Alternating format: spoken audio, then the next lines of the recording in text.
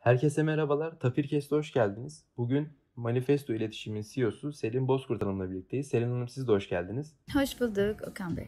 Selin Hanım aslında birden çok e, çalışmalarınız, görevleriniz ve e, iş alanlarınız var. Fakat biz ilk başta kolaya da kaçmak adına ve e, sizi daha iyi siz tanıtırsınız. Bunu da bildiğimizden dolayı sadece Manifesto İletişim CEO'su dedik. Bize kendinizi çok kısa bir tanıtma şansınız var mı acaba? Tabii ki. Ee, Ben ilk iş hayatına aslında e, üniversite döneminde turizmle başladım.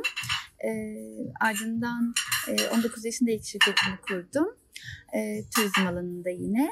E, Ve yaklaşık 6 yıl e, bu süreç devam ettikten sonra da yurt dışına e, gitme, orada bir pazarlama üzerine eğitim alma kararı aldım.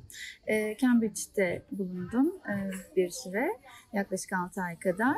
E, döndükten sonra da headhunterlık e, alanında e, uzun dönem çalıştım. Bu tabii beyin avcılığı, headhunterlık, yönetim danışmanlığı bana çok şey kazandırdı. Çok alanda, farklı alanlarda e, çalışma, sektörler hakkında fikir sahibi olma kabiliyetlerimi arttırdı.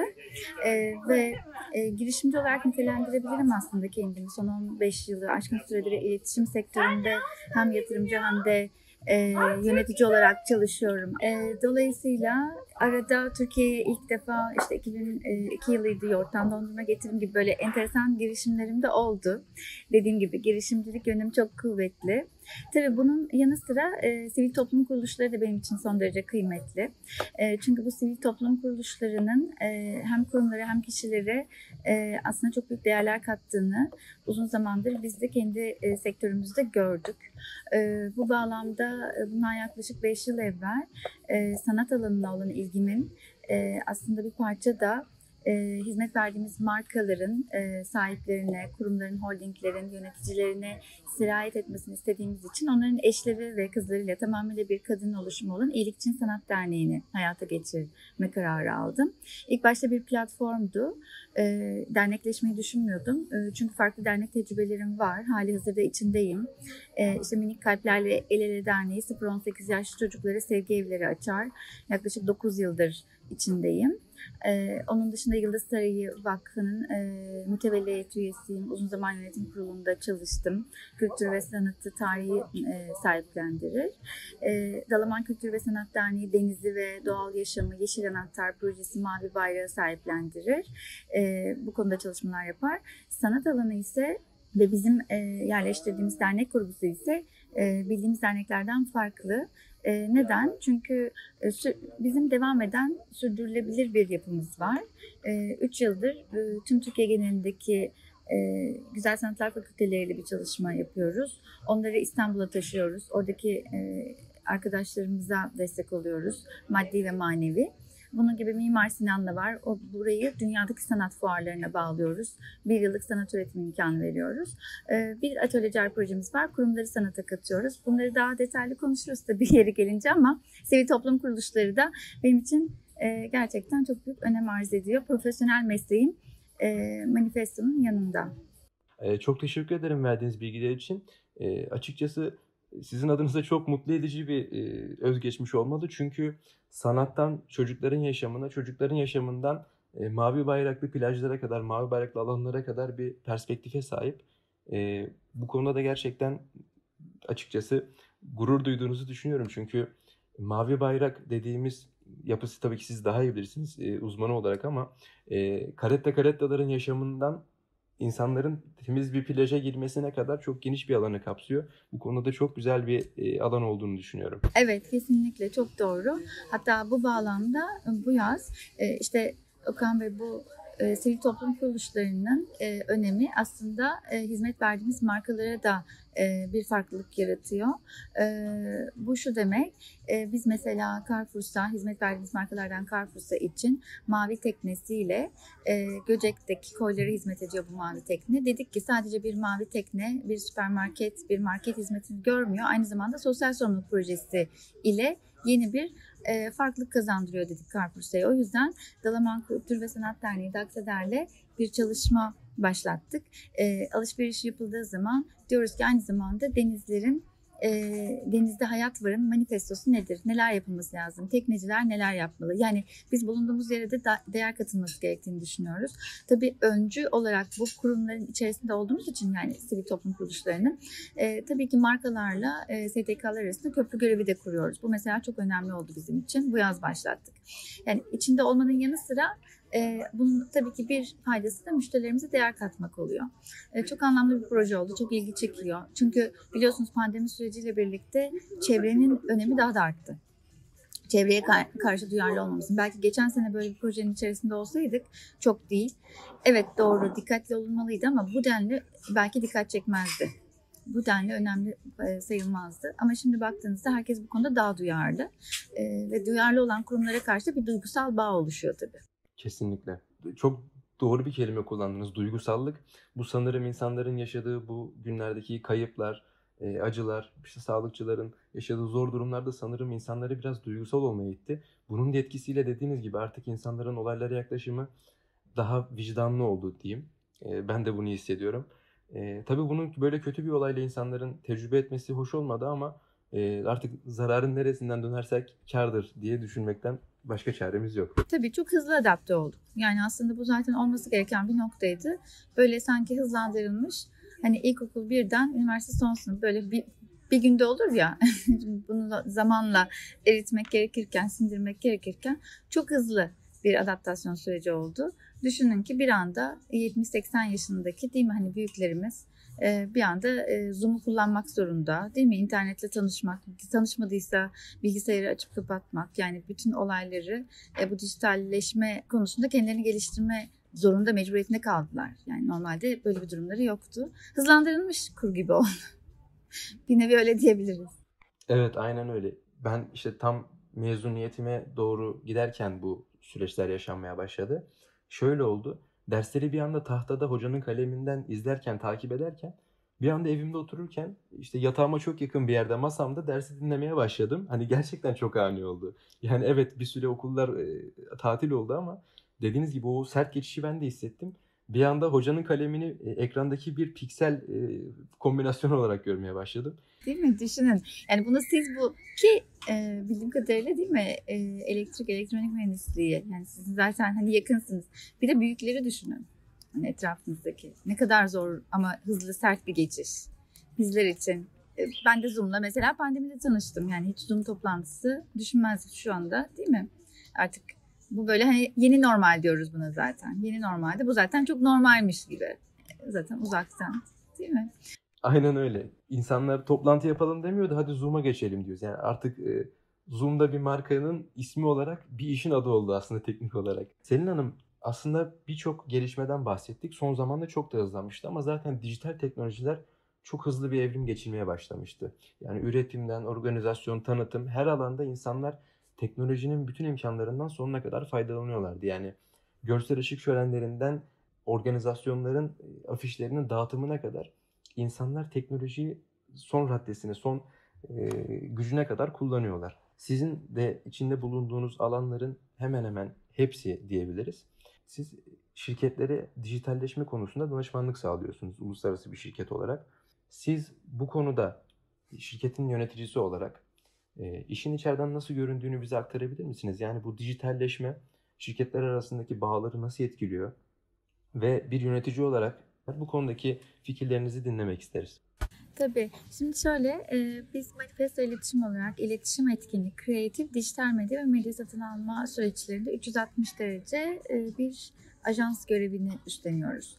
E, 11. yılımızdayız, 12. yılımızdayız. Yani 7-8-2009'da kurulduk. 10. yılımızı tamamlamıştık zaten. İşte 11. yılımızdayız. Bu süreç içerisinde e, bizim e, ve iki ortağım daha var. E, birlikte yürütüyoruz bütün bu çalışmaları. E, tabii ki bizimle birlikte çok uzun zamandır çalışan işte genel müdür yardımcılarımız ve ekibimizle birlikte. Tabii e, bizim özellikle pandemi süreci için söylüyorum. E, mesela bu sürecin başında e, dijital ekibimizi arttırdık, kuvvetlendirdik, e, geliştirmek durumunda kaldık. Böyle bir fırsat gördük. E, neticesinde baskılı olan herhangi bir e, dökümana dokunma ve üretimi de zaten biliyorsunuz. Çünkü sokağa çıkma yasağı vardı. O bir anda böyle filmden e, uzaklaştı. Şimdi yeni yeni tekrar aynı süreç geri gelmeye başlıyor. Dolayısıyla dijitalleşme kaçınılmaz oldu. Yani ofislerimiz dijitalleşti. E, buna uyum sağlayamayanlar ya da sektörleri bunlara uygun olmayanlar e, zaten e, bu e, o durumdan e, çok büyük darbe aldılar işte turizm sektörü. Yani uyumlanmak mümkün değil çünkü orada hizmet sektöründesiniz. İşte yiyecek içecek sektörü uyumlanamıyorsunuz çünkü kapalı. Ama bazı sektörler bunlardan çok ciddi etkilenirken bazılarında da fırsata dönüştü. Dolayısıyla e, dijitalleşme ile alakalı bazı sektörlerin çok ciddi anlamda etkilendiğini ama bazılarında bunu fırsat haline getirip e, aslında buradan e, karlı bir şekilde hiç umulmadık kadar e, ivme kazandığını söyleyebilirim. E, biz hizmet verdiğimiz markalarda bunu gördük. E, biliyorsunuz ki ilaç sektörü e, bu anlamda işte lojistik sektör, bu kurye kargo, bütün bunlar e, bunlarda çok ciddi bir artış oldu. E, yapılanma anlamında, e, talep anlamında. E, tabii ki buna gıda girdi işte hizmet verdiğimiz markalardan Carrefour'da var. Hiç umulmadık kadar online'da büyük bir biliyorsunuz tabiri caizse patlama oldu. Bu çok önemli. Yani umulmadık bir beklentiyle karşılaşıldı. Hiç beklenmedik. E, tabii buna adaptasyon, buna adapte olabilenler artıyla çıktı ama buna tabii ki uyumlanamayanlar da büyük sıkıntı. Operasyonel anlamda sıkıntı oldu. Dolayısıyla biz bu bağlamda e, hızlı bir şekilde dijitalleşme yolunda e, müşterilerimize, hizmet verdiğimiz markalara hizmet verme konusunda da kendimizi de e, geliştirdik, büyüttük. Çünkü şimdi böyle bir potansiyeliniz yokken sayılar bu kadar büyük olmuyor. Sonrasında geliştiriyorsunuz. Yani dijitalde konumlanmak. Sosyal medya sayfaları daha önemli hale geldi. Oradan iletişilmeye başlandı. Ee, hemen web sitenizi tekrar toparlıyorsunuz. Artık e, tabiri caizse dükkan orası. Bakıyorsunuz sizin vitrininiz orası. Dolayısıyla böyle bir süreç yaşadık. Yaşamaya da devam ediyoruz. Evet. E, aslında söylediğinizden o kadar ilginç alanlarda etkilendi ki mesela pandeminin tam ortalarında yani Haziran ayına gelmeden birkaç ay önce e, puzzle üreten şirketler ciddi bir talep artışı yaşadılar ve yetiştiremediler. Yani insanlar gelsin ve benim fabrikamda çalışsın diye televizyonlara haberlere çıktılar. Yani puzzle yapboz sektörünün bile etkilendiği ve çok ilginç bir süreç oldu. Her şeyin dijitale çekildiği, insanların artık çok doğru dediniz yani dükkanları web siteleri oldu, Instagram sayfaları oldu artık. Reklamları sürekli görüyoruz. İnsanlar sürekli hikayeleri yukarı kaydırmaya çalışıyor. Oradan indirimler geliyor. Ciddi ve yoğun akış var yani. Zaten bu yönde gidiyorduk. İyice artmaya başladı. Ama ben bu süreçler sonlandıktan sonraki gidişatı çok merak ediyorum. O konuda bir tahmininiz var mı acaba? Olur da pandemi e, sonlanır. Yani aşısı bulundu ya da herhangi bir şey oldu ya da 5 sene 6 sene geçti. Dünya normale dönmeye çalışacak. Ama normal derken bu yeni normal diye düşünüyoruz artık. Yani bu artık eski sistemde bir şey yok. Yeni normal düzende öyle bir durum olacağı zaten genel araştırmalara, öngörülere baktığımızda da dünya genelinde de şimdi bir şey alışkanlık yani 20 gün 21 gün bir şeyi e, yaptığınız zaman tekrarladığınız zaman alışkanlık haline geliyor. Biz bunu çoktan geride bıraktık. Yani Mart ayında 11 Mart'ta süreç başladı. Şimdi biz tabii Ağustos'u bitiriyoruz. Artık yeni bir alışkanlık oluştu. Buradan tekrar geriye dönüş yok. Bununla birlikte ilerleme var. Zaten e, özellikle e, büyük e, kurumsal şirketlerin, uluslararası global şirketlerin e, projeksiyon planlarına baktığınızda pandemiyi de e, kendi sektörlerine göre değişmekle beraber 5 artı 5 yıl olarak öngörüyorlar. Yani bu işin süresi bakmayın işte aşı bulundu, e, işte aşıyla birlikte bunun ulaşımı, bunun işte gerçekten e, size kadar ulaşması vesaire bir süreç. E, ama ekonomik anlamda bunların yansımaları da ayrı bir süreç. Yani o bulunmasıyla birlikte e, şimdi burada çok ciddi bir e, dediğim gibi sektörlere e, yansımaları var ekonomik anlamda. Bu yüzden de e, bizim yapmamız gereken şey aslında bu süreci tekrar eskiye döndürmek değil, bununla birlikte uyumlanıp devam etmek. Yani bunu bir fırsat olarak görüp buna uyumlanmak, bunun içerisinde kendisini bulmak diye nitelendirebiliriz. Evet, kesinlikle katılıyorum. Çünkü eskiye dönmek en büyük hata olacaktır. Çünkü e, insan yatırımı, zaman yatırımı, e, maddi manevi bütün yatırımlar insanların hayatını bu şekilde organize etmesi için yapıldı. e, geriye dönmek çok büyük bir hata ve zaman kaybı olacaktır. Bence de ben de öyle düşünüyorum. Zaten evet e, zannetmiyorum ki tekrar geriye dönüşle alakalı bir değil mi beklenti olsun. Buna e, buna uyumlanıp bununla devam etmek gibi düşünebiliriz. Evet doğru. Şimdi teknolojiden bahsettik. Yine o konuda biraz daha devam etmek istiyorum. Ee, bildiğimiz üzere büyük veri, yapay zeka bu tarz konular araştırma alanlarında oldukça popüler. Ee, ancak e, gerçek dünyadaki uygulamalarda ve e, sizin hakim olduğunuz sektörlerdeki etkilerinden tam olarak haberdar değiliz bu teknolojilerin. Yani Manifesto yeni teknolojileri iş hayatında nasıl kullanıyor? Yani nasıl kullanmaktadır? Manifesto iş hayatında yeni teknolojileri bir kere biz Türkiye'de ilk e, online ajansa uzaktan çalışma ofisine geçen e, şirket olduk. Online çalışma sistemine adapte olan ilk şirket olduk. Biz 11 Mart'ta bu süreç başladığında e, tabii ki e, bütün çalışanlarımızın e, düşünceleri, yaklaşımları birbirinden farklı. E, pandemiyi daha hassas geçiren, daha kaygılı olan arkadaşlarımız olduğu gibi bu süreci daha rahat atlatan e, arkadaşlarımız da vardı. Ama biz tabii ki hepsini gözettiğimiz için 16 Mart pazartesi olması gerekiyor yanlış hatırlamıyorsam. Dedik ki zaten 11 Mart'ta bu çıktığında hemen bir gün sonra arzu ederseniz uzaktan çalışabilirsiniz dedik. Ama 17 Mart itibariyle 16 Mart itibariyle de tamamıyla ofisimizi kapattık. E, kapattıktan sonra tabii bu kalıcı bir kapatma değildi ilk etapta. E, ama dedik ki bir izleyelim, süreci görelim. Ama gördük ki yani yaklaşık iki hafta içerisinde e, çünkü Türkiye'de çok e, büyük markalara hizmet veriyoruz. Yani iri ufaklı ama bunların içerisinde çok kurumsal yapılar var Sabancı gibi. E, dolayısıyla gördük ki biz bu sistemde Zoom'da çalışmak bizim sektörümüz için çok daha verimli. Yani birincisi verimlilikti. Bu kararı kalıcı olarak almamızın sebebi. O dönemde kalıcı değildi. İki hafta sonra durum değerlendirme yaptığımızda e, toplantı kalitesi, e, çalışanlarımızın memnuniyeti. Çünkü şimdi 8.30'da işte olmak için e, 5'te 5.30'da yola çıkan arkadaşlarımız vardı. Düşünün ki sporunuzu yapacaksınız İstanbul trafiği. E, dönüşte de nereden baksanız 5.30'da çıkıyorsunuz. 2 saatiniz yolda geçiyor şimdi baktığınızda verimlilik çok arttı. E, çünkü bulunduğunuz yerden e, ofisiniz sizin yanınızda. Bir yerden bir yere gitmeniz gerekmiyor. İşinize çok daha rahat konsantre oluyorsunuz e, çok daha sağlıklı oluyorsunuz. Bir de burada ruhsal sağlık çok önemli. Yani aslında pandemi sürecindeki en önemli noktalardan biri ya tabii ki e, mesafeyi koruyalım, işte sağlığımıza dikkat edelim değil mi? İşte hijyen ama en önemlisi bir de ruhsal sağlık bedensel sağlık. E, bu dönem, bu süreçte biz gördük ki bu bizim için verimlilik açısından birincisi çok önemli. İkincisi bizim ofise ihtiyacımız fiziksel anlamda aslında bir yerde toplanmamıza çok gerek yok. Zoom'da toplanmak e, çok daha mantıklı. Süreç normale bir parça döndüğünde, ofisler açıldığında ise genelde ajans tarafı öyledir. Müşteriye gider. Yani biz doktor olmadığımız için hasta bize gelmiyor. Dolayısıyla biz gidiyoruz. E, dolayısıyla biz gittiğimiz için de dedik ki en mantıklısı e, bizim burada bu sistemi kalıcı hale getirmekimiz.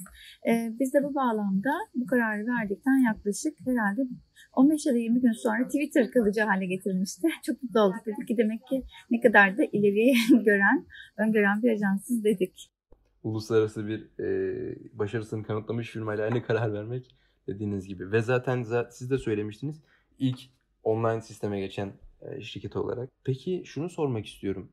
E, insanların yolda zaman kaybetmemesi, stres, trafik e, işte ya da e, ofiste bir arada insanların işte hani e, zaman geçirmesi ve bir takım sorunların yaşanmasının önüne geçildi böylelikle ama bu zaman kaybetmemek ve insanların e, rahat oldukları yerden çalışabilmesinin verimliliğin yanında sağladığı dezavantajlar da var mı? Yani işlerin gecikmesi gibi ya da e, yapılan işlerin aksaması gibi durumlar başınıza geldi mi?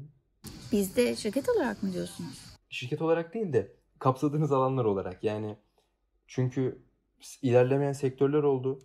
Şirketin tam tam anlamıyla hakim olamadığı yerler oldu ve yanıt alınamayan, dönüş alınamayan yerler oldu. Mesela şey demiştiniz, müşterilere gidiyoruz. Müşterilere gidilemediğinde ne gibi sorunlar yaşandı? Hiç işte aslında hiç olmadı. Neden biliyor musunuz? Çok enteresan bir şekilde e, aşırı çalışma dönemi oldu. Bu herkes için geçerli bence bizim e, sektör, bizim gibi sektörlerde hizmet veren konular için.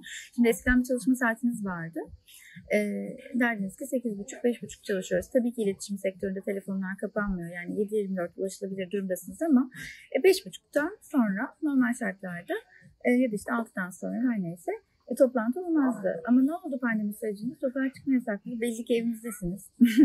yani biz 7'de, 8'de, 9'da, 10'da hani böyle gerçekten sunumlar yaptığımızı, çok ciddi stratejik e, iletişim toplantıları yaptığımızı bil, gördük. Yani hatta dedik ki yani bu kalıcı hale gelirse acaba nasıl çalışılır? Çünkü cumartesi yok, pazar yok. dönem böyleydi yani bu ilk, ilk ay böyle uyumlanmakta. Ee, işte mesela düşünün ki saat 9-10 ee, işte evde çocuğu olan var tabii çocuk sesi geliyor onu, çok, onu uyutunca yapalım diyorlar falan. Yani ilk etapta ulaşılamamak değil tam tersi fazla ulaşılmak gibi bakabiliriz. Çünkü herkes birbirine son derece maksimum derecede ulaşabiliyor. Ulaşılmaması gereken saatlerde bile talep edilebiliyor, ulaşılabiliyor. Çünkü belli yani hiçbir yere gidemiyorsunuz. Bir özel bir durum söz konusu değil. Yani öyle bir eskiden hani müsait olamayacağınız şey hep müsait gibi e, algılanabiliyor. Yani gerçekten böyle bir duruma. Bunu yönetmek ilk etapta e, tabii ki e, bazı arkadaşlarımız için çok iyi biliyoruz. Farklı kurumlarla, sektörlerle de konuştuğumuzda ciddi sıkıntı oldu. Yani bu işin aşırı dozda çalışmak diyebiliriz. E, o yüzden bu tamamıyla e, hani sıkıntı olsa olsa dediğim gibi bu sebepten dolayı olabilir. Ama o da yavaş yavaş yerine oturdu tabii. Yani o da bir böyle bir şaşkınlık içerisindeydi herkes. Çünkü uzaktan çalışma yöntemini bilmemek de başka bir durum bakın. Hani herkes araya araya buldu bu sistemi. Dediğiniz gibi ben de şöyleydi mesela. Şöyle söyleyeyim.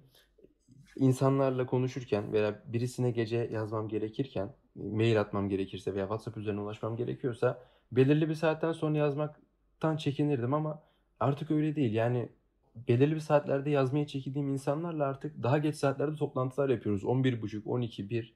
Artık bu normal oldu yani. Bu da güzel bir şey aslında zamanı da aslında esnetmiş olduk. Daha da esnetmiş olduk. Bu, bu açıdan çok güzel oldu. Çok faydasını gördüm ben de açıkçası kendi adıma. Değil mi? Gerçekten öyle. Ee, şimdi daha Chemicals'ta çalışan bir arkadaşımız var. Ee, Türkiye direktörü. Enteresan. 60 bin çalışanı vardı bu.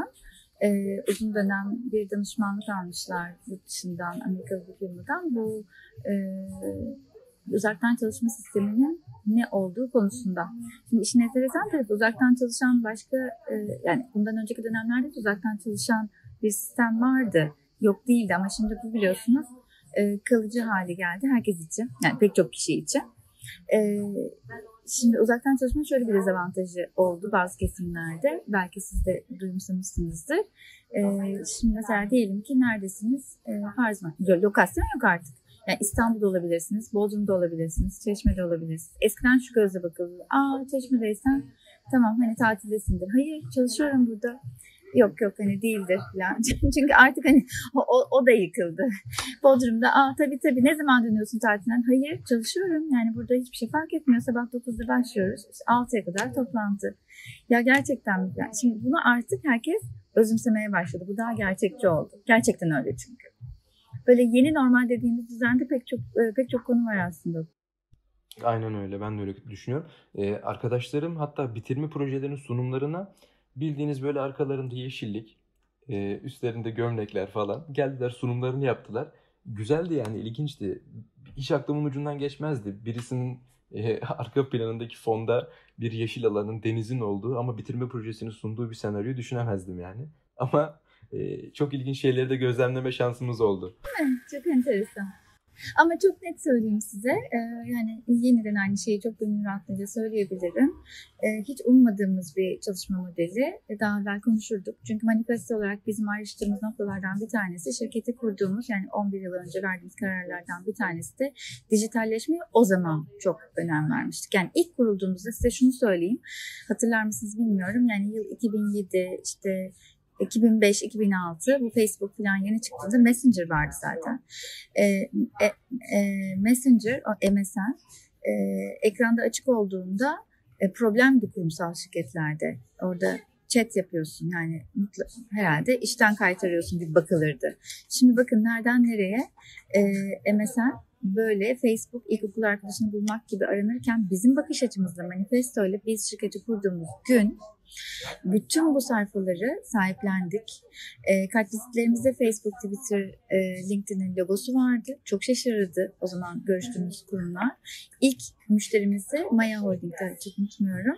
E, Facebook'tan aldık. Bakın yani biz zaten hani bu dijitalleşme ve şirketin altyapısı, server sistemine çok ciddi yatırım yaptığımız için bizim için kolay bir geçiş oldu. Ki buna sıcak bakmadık bunca zaman yatırım yapmamıza rağmen. Ama e, geçişimiz e, hem güvenli oldu, çünkü bu kısım önemli, e, hem de bu, bu alanda böyle pratik ilgi olduğu zaman ilginin olduğu yerde zaten siz verimli hale geliyorsunuz, büyüyorsunuz. Bu kısım çok önemli. Dolayısıyla e, bizim için kazançlı bir sistem oldu, verimli oldu. Biz kendi adımıza e, gerçekten pandemi sürecini artık e, o süreç devam ediyor ama e, hiç ummadığımız kadar e, verimli her açıdan hem çalışan memnuniyeti hem e, şirket ve hizmet verdiğimiz markalar memnuniyeti açısından e, gerçekten verimli atlattığımızı görüyoruz. Yani verilere bakarak söylüyoruz bunu. Kesinlikle. Ya zaten sizin çok uzun süre önce yaptığınızı insanlar e, artık e, hayatına yeni adapte etmeye çalışıyor. E-mail üzerinden yaptıkları o insanları bilgi ekleyerek sürekli kontrol içinde yapılan o haberleşme mekanizmasını çok basite indirgeyen WhatsApp'ı kullanıyor insanlar. Yani Twitter'da görüyorum bazı akademisyenleri takip ediyorum. E, kimisi çok karşı çıksa da birçoğu şöyle diyor. Ben öğrencilerime veya beraber çalıştığım insanlara numaramı veriyorum ve saatten bağımsız istediğim zaman istediğim yerde istediğim çözünürlükteki bilgiyi kendisinden WhatsApp üzerinden alabiliyorum diyor. Yani tabii ki işin raporunu WhatsApp'tan almıyordur ama o gün o an senkronize olmak için gereken bütün veriyi WhatsApp üzerinden alabiliyor insanlardan. Bu çok güzel bir durum. Yani eskiden insanlar bu kadar ağırlık vermezdi WhatsApp'a veya Zoom'a veya herhangi bir platforma. Ama artık çok ciddi ağırlıkları var. Bir de e, insanların teknolojik evrimlerde bu karşısına çıkan platformlar, mecralar oluyor. Bunların tabii ki e, en önemli yanlarından birisi de estetik, göze güzel gözükme. E, Yani insanlara çünkü bir ekran içerisinde ne sunabiliyorsak onu verebiliyoruz. Böyle kötü bir arayüzle insanlara bir şeyler sunmak istemiyoruz. E, fakat bu estetik hayatımızın her alanında var. Yani şirketlerin ürün tasarımlarına zaten verdiği önem aşikar hepimiz biliyoruz. Bunu da şuraya bağlamak istiyorum. Sizin zaten birçok e, sanat derneğinde çalışmanız var. Ee, az önce siz de bahsettiğiniz podcast'in başında da. İyilik için Sanat Derneği çalışmalarınızda pek çok sanatçı ve sanatçı adayına imkan sağladığınızı okuduk. Bizlere biraz İyilik için Sanat Derneği'nden bahsedebilir misiniz acaba? Tabii ki memnuniyetle. İyilikçin Sanat Derneği'nin amacı, kuruluş amacı Türkiye'deki güncel sanatı takip etmek. Ee, uluslararası platformlarda e, ülkemizi temsil etmiş sanatçıları yakından tanımak e, üzere kuruldu. E, kurulduktan e, kuruldu ve bu amaçla da her çarşamba bu belirlenmiş sanatçılara işte adlarını bildiğiniz gibi ilk etapta Günselik Atölye başladık. İşte Ahmet Güneş'teki Devrimler Biz diye başlayan işte Adnan Jokerler, Özdemir Altanlar böyle bir 20 ziyaret planlamıştık. E, fakat baktık ki bu 20 ziyaret bu bahsettiğim üyelerle birlikte tamamen bir kadın oluşumu. E, üyelerle birlikte e, 20 ziyarete baktık. 20 ziyaret meğerse çok e, işin başıymış. Yani 20 ziyaret bizim gözümüzde büyürken biz geçtiğimiz hafta yani dün değil evvelsi gün 263. ziyaretimizi geride bıraktık. Yani düşünün Türkiye güncel sanatına ilişkin bunca sanatçıyı tanıma, tanırken tabii sohbet ederken de e, bu alanda neler yapılmasına ilişkin hem hayallerini sorma hem de fikir alışverişinde bulunma fırsatımız oldu. E, işte tam da burada ihtiyaçlardan yola çıkarak üç tane proje geliştirdik. E, üç yıl önce başladı. Bunlardan bir tanesi Pasaj'da bir yıl. Profesör Nedret Sekban ve aynı okulda Mimar Sinan Güzel Sanatlar Fakültesi'nde o dönem öğretim görevlisi olan Aslı Özok'la beraber onları e, mentor olarak başına koyduğumuz, rica ettiğimiz. E, çünkü biz projelerimizde e, mutlaka e, işi bilen kişilerin e, mutlaka işin mentoru olmasını istiyoruz. E, onun dışında içinde yer alan kişilerin de sanatçıların onlar tarafından seçilmesini öneriyoruz. E, bu bağlamda o 3 yıl önce e, Profesör e, Nede Sekban'ın e, atölyesi Tekstil Kent'te hemen yanındaki atölyeyi e, tuttuk E, ve bu çok hızlı oldu. Biz bir şey karar verdiğimizde iki hafta yani maksimum iki hafta içerisinde yönetim kurulu kararı aldık. Orayı tuttuk. E, tefrişatını yaptıktan sonra atölye düzenine getirdik. E, iki hafta sonra dedik ki biz tefrişatını yaptık. E, siz bu e, öğrencilerimiz, daha doğrusu öğrenci de değil onlar aslında e, profesyonel sanatçı adayları. E, profesyonel sanatçı adayları 10 tane her yıl Mimar Sinan Güzel Sanatlar e, Fakültesindeki öğrencilerden oluşuyor. E, her sene 10 kişiye böyle bir imkan veriyoruz. Nedir imkan? Bir yıllık sanat üretimi imkanını tamamıyla biz sağlıyoruz. Boya, tuval, aklınıza gelecek bütün malzeme. Orada bir tekstil e, kentteki atölyemizde bir atölye imkanı var. E, işte bütün oradaki e, giderlerini biz e, organize ediyoruz. Onların yol yemek ücretleri ve İngilizce eğitimleri de bizim tarafımızdan sağlanıyor. Bir yıl boyunca onlar hiçbir şey düşünmeden üretim yapıyorlar. Ondan sonra e, bu üretimi tamamladıktan sonra haftada dört gün minimum gelme mecburiyetleri var ki atölye aktif bir şekilde kullanılsın. Üretmeleri gereken eser ebatları konusunda hocalarıyla mutabıklar. E, yıl sonunda bir tane sergi açıyoruz. O sergi neticesinde e, %60'ı işte sanatçıya %40'ı bu ilk için sanat fonuna kalacak şekilde bir planlama yapıyoruz ki hem serginin maliyeti hem de bu arkadaşlarımızın yurt dışındaki ziyaret maliyeti. E, kaldı ki bu yeterli olmuyor yani oradan e, toplanan yüzde 40. Dolayısıyla e, dernek yöneticileri ve üyeler olarak biz destek oluyoruz tabii ki. Çünkü ilk aidatlarıyla birlikte destekleniyor aynı zamanda bu yapı. E, çünkü düşünün e, bir yıllık işte kirası, elektriği, su yani bir, ciddi bir maliyet aslında bakacak olursanız. Bu arkadaşımızın yol yemek ücretleri, işte tuval boya bunlar hepsi çok maliyetli işler. Sonrasında da Avrupa Özel'le de Venedik Bienali'ne gönderiyoruz bu arkadaşlarımızı. Orayı izliyorlar. Yurt dışı gözü oluyor. Geldikten sonra da ikinci yıl e, dönemi başlıyor. İkinci yılda yeni 10 kişi seçiliyor gibi gibi düşünün. Bu böyle proje devam ederken e, Anadolu İzlenimler diye bir başka projemiz var. Sanatçı Kadir Akyol yönetiminde devam ediyor da. O da üçüncü yılımızda bu sene. E, tüm Türkiye genelindeki güzel sanatlar fakülteleriyle bir çalışmamız var. Her yıl 12 tane ilden İstanbul'u görmemiş, daha önce böyle bir sanat ortamına girmemiş kişiler başarılı olmak kaydıyla e, bölgedeki üniversitelerin dekanları, rektörleri tarafından referans usulü bize bildiriliyor. E, biz her yıl 12 ilden her okuldan da e, bölgeden de üçer genç sanatçı adayını İstanbul'a getiriyoruz. 36 kişi demek oluyor bu. 36 kişi 4 gece 5 gün İstanbul'da konaklanıyor. Hangi dönemde? İşte İKSV, Contemporary İstanbul olduğu dönemde bu bağlamda işte Resim Heykel Müzesi, Saklı Sabancı Müzesi gibi İstanbul Modern gibi müzeleri geziyorlar. E, ciddi anlamda bir sanat ortamına giriyorlar. E, ve ondan sonra da şehirlerine tekrar geri dönüyorlar. E, geri döndüklerinde bir eser üretiyorlar. Bir sonraki yıl sergi için burada tekrar buluşulunuyor. E, dolayısıyla bu da bu yıl 3. yılında geçtiğimiz sene Taksim Sanat'ta bir sergi yaptık. Büyük bir sergi. E, işte 30 40'a yakın iş vardı. E, 40'a yakın iş sergilendi. Onlar da yine sanat izleyicileriyle buluştu. Hmm, tabii e, şu anda bu yıl e, kapsam alanımızı 36 ile çıkartacağız gibi gözüküyor her şey yolunda giderse. Bir başka projemiz de Atölyecer e, kurumların e, kendi içlerine bir sanat alanı oluşturmalarına salık veriyoruz. Ege Yapı 11 yıldır hizmet verdiğimiz markalardan biri. E, Ege Yapı'dan böyle bir ricada bulunduk. Kendileri uygun buldular. E, tarihi Yarımada'da CER atölyelerin içerisindeki CER İstanbul projesinde bize satış ofisinin altında bulunan yaklaşık işte 150 metrekarelik bir alanı atölye imkanı olarak bedelsiz e, olmak kaydıyla İyilik için Sanat Derneği'ne tahsis ettiler.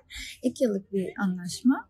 E, burada profesyonel olan sanatçıları genç sanatçılarla buluşturduğumuz 17 tane sanatçının içinde yer aldığı bir projemiz var. Ücretsiz atölye imkanı sunuyoruz. E, proje çerçevesinde sanatçı e, her yıl bitimde bir tane eser Ege yapıyor, bir tane İlkçin Sanat Derneği'ne bırakıyor.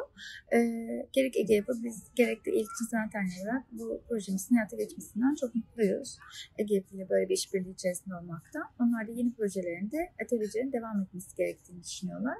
E, çünkü bir üretim merkezi haline geldi tabii bir anda şantiye alanı. Çok kıymetli proje devam ederken. Böyle bir projemiz var.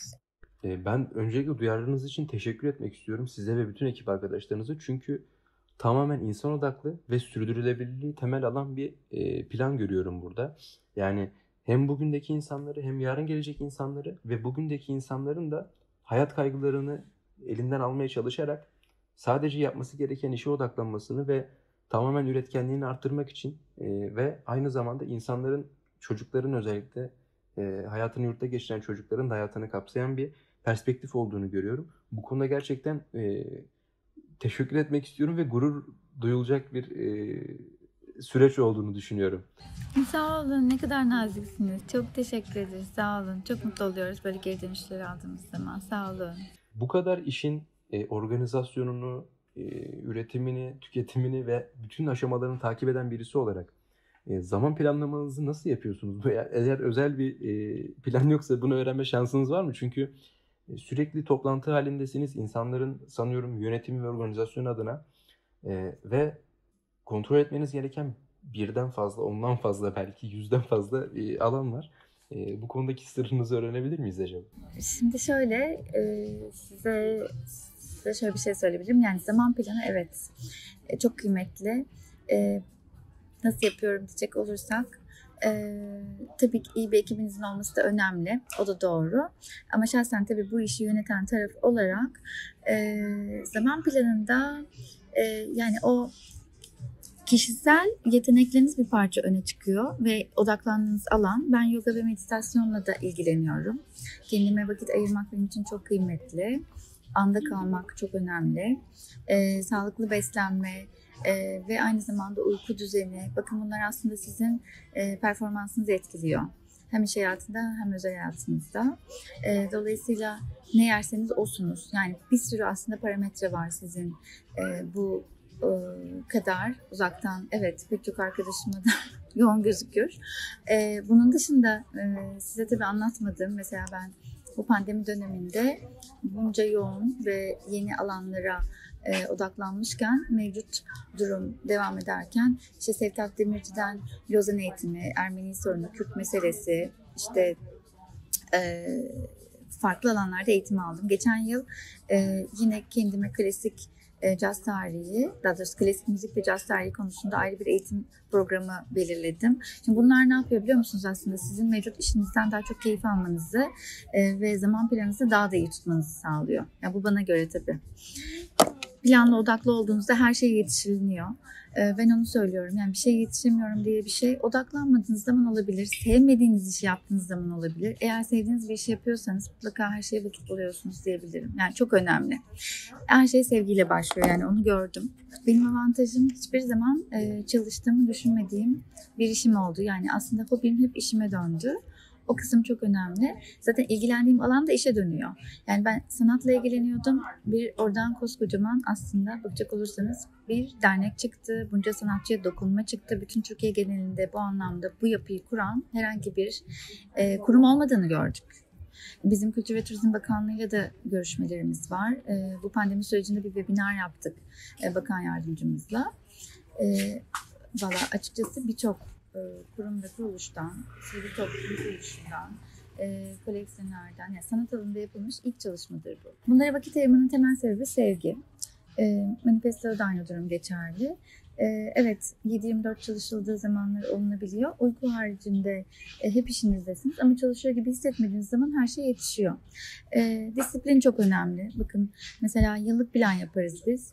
İşte sizinle randevulaşırken e, tabii mevcut hep sistemler var. Salı günü 11 bir yer değil mi? Hani net e, toplantı saati belli çarşamba. Planladığınız zaman her şey yetişiyor Okan Bey. Yani plan program çok kıymetli ama sevdiğiniz zaman oluyor bu. Sevmediğiniz zaman hepsi birbirine karışabilir. Evet kesinlikle öyle. Ya bizim için de geçerli yani bir şeyle sabahlarken zorunda kalmanın ağırlığı üstünüze çöktüğünde gerçekten yaptığınız işten de verim gelmiyor. Tamamen kötü bir şey ortaya çıkıyor ama bunu isteyerek yaptığınızda zaten gözünüze gözükmüyor ve keyifli bir hal oluyor. Evet. Gözünüze gözükmüyor. Çok net. Yaptığınızdan keyif aldığınızda, çıkan sonuçtan tatmin olduğunuzda zaten sizden iyisi yok. Ee, diğer iş için de bir motivasyon olur. O yüzden sevdiğiniz işi yapmak, e, bir de kendinize zaman ayırmak. İki tane temel sebep söyleyebiliriz. Her şeyin yetişmesi biraz buna bağlı. Kesinlikle. Selin Hanım ben değerli zamanınızı ve bilgilerinizi ayırdığınız için çok teşekkür ederim. Çok memnun olduk. Ne demek?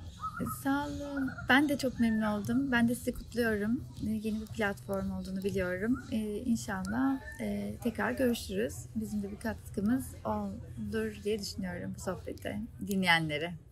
İnşallah görüşmek üzere.